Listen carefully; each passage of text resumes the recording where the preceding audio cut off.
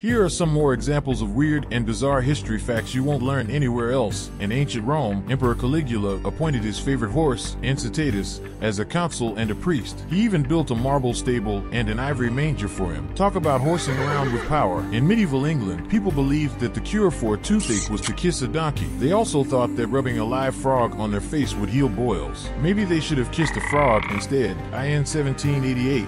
The Austrian army attacked itself by mistake during the Battle of Karansebes. The confusion started when some soldiers got drunk and refused to share their liquor with others. The fight escalated into a full-scale battle that resulted in over 10,000 casualties. That's one way to lose a war.